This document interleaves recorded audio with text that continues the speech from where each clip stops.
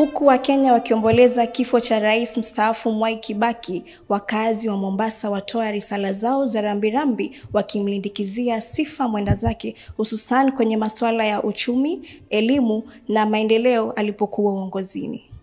Uh, rais mstaafu Mwai Kibaki tangu alipochukua hatamu alifanya maendeleo makubwa na mabadiliko makubwa ambapo ni kama alianzisha msingi na kufungua watu macho kwamba maendeleo Kenya yanawezekana.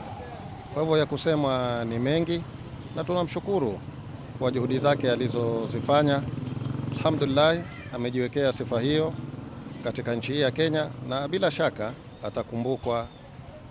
Kitu ambacho tutakukimbikia sana kuhusu Kibaki ni yeye ndio aloleta hii hii ni sekta ya bodaboda hii. Mpaka sasa tunafurahia, na kutoka alipoleta hii sekta ya bodaboda mpaka sasa tunafurahia matunda ya bodaboda saa hii.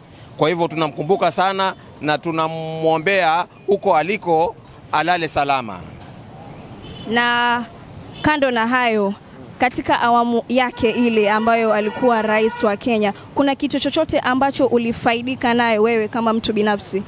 Uh, mimi haswa nilifaidika na uchumi wake. Uchumi wake ulikuwa mzuri wakati wa Kibaki, uchumi wake ulikuwa mzuri sana. Tulifurahi wa Kenya mpaka kiasi cha kwamba watu walikuwa wakisaidiana. Saa hizi watu hawezi kusaidiana kwa sababu uchumi uko chini kabisa, mpaka ndugu anamkimbia ndugu mwenzake, rafiki anamkimbia rafiki mwenzake kwa sababu ya uchumi uko chini sana. Twa Kenneth Madhendo. Eh, mi ni mfanyikazi wa indale ya bodaboda hapa e, Bamburi Naivas. e, na mkumbuka Rais Mwai Kibaki kwa yale mambo aliweza kutufanyia kama sisi na watu wa bodaboda, ameweza kutusaidia sana, manake ukiangalia bwana Rais Kibaki aliweza kutupatia ajira kwa njia moja, especially sekta hii ya vijana Manake tukiangalia tunamkumbuka kwa njia moja ya mabodaboda. Sisi hii sekta yetu ya bodaboda, kama si Mwai Kibaki hakungekuwa na bodaboda kabisa. Kwa hivyo mimi kwangu mimi namkumbuka, Mwai Kibaki kama mwanzilishi wa kuajiri vijana na kubuni kazi nyingi kwa vijana.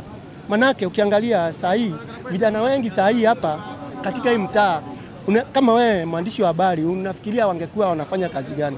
So Mwai Kibaki ameweza kuajiri vijana wengi na tutamkumbuka kwa hayo na mengi ambayo aliweza kufanya. Aliweza kutengeneza uchumi wa Kenya, na sijui kama kuna rais mwingine ataweza kutengeneza uchumi kama Mwai Kibaki. Aliyekuwa wa awamu ya tatu, ni nini ambacho utamkumbukia rais huyo?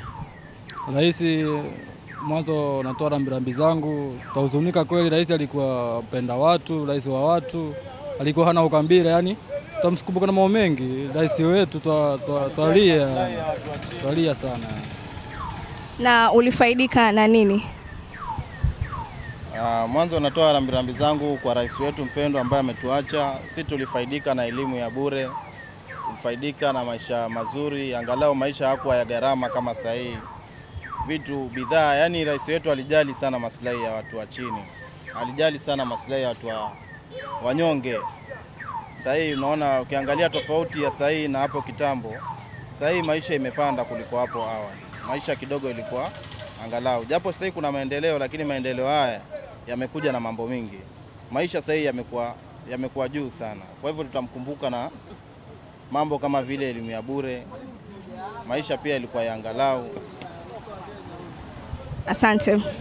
Na wewe unaweza penda kusema nini kuhusu mstaafu rais huyo, na ni nini ambacho ulifaidika ama unamkumbukia nini rais huyo? Kwanza napeana rambirambi zangu kwa rais wetu, alitupa yani, alitu, alituajiri. Ukiangalia kama alileta miradi ya matuktuk, pikipiki. Mwanzo pia maisha alikuwa rahisi, sasa hivi maisha naona amekuwa magumu kwa upande huo. Kwa hivyo naona rais wetu tunampenda na azidi kuwa aende mahali mema peponi. Utamkumbukia nini rais mstaafu Mwai Kibaki? Kwanza kabisa mi natoa rambirambi zangu kwa rais wetu wa tatu ambaye ame, ametuacha leo saa saba. Uh, kwanza mimi mwenyewe kwanza nili, nili, nili, nilikuwa nasoma skuli za Moi wakati watu walipa school fees nika drop. Alipoingia Kibaki nikarudi skuli kwa sababu skuli zilikuwa za bure kabisa. Hiyo kwanza nilinufaika nao sana Alafu isitoshe akatuletea miradi ya pikipiki ambao waiona sahii hii hapa Naivas, vijana wana wanachangamka, maisha yalikuwa ya chini. Yani mimi mwenyewe nilikuja kununua sukari ya moyo shilingi saba tu ile robo, lakini sasa hivi sukari imepanda, chakula kimepanda, eh, watu wa tukutuku ndio hapa, maisha yameenda juu sana kabisa dadangu.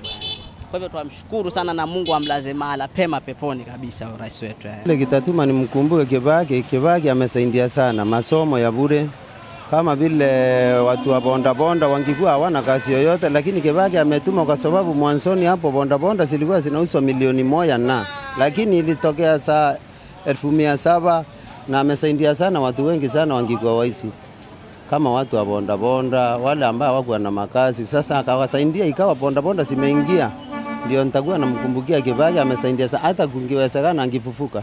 Haya, kwa majina anaitwa mzee Wycliffe Abedi, mkazi wa hapa Mombasa, sehemu za Bamburi.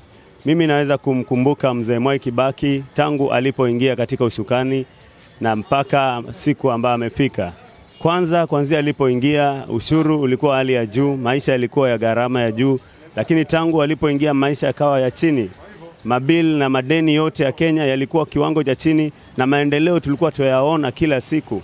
Wakati ambapo ameondoka, tunaweza kutofautisha jinsi alivyokuwa na jinsi alivyoondoka, jinsi mambo yamekuwa, maisha yamekuwa magumu.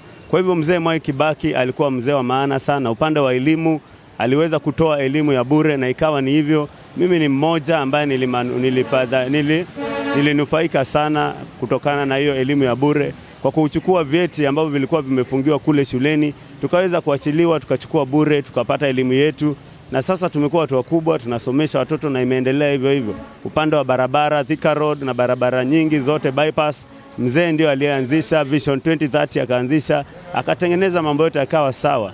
Pia singemsahau Mwai Kibaki kwa nukta zake ama kwa lugha yake ile alikuwa akitumia kama kusema pumbavu, kwenda kabisa, yes, oh yes, mpaka dakika ya mwisho. Mzee Kibaki amekuwa mtu mzuri, na Mungu ailaze roho yake mahali pema peponi. Asante.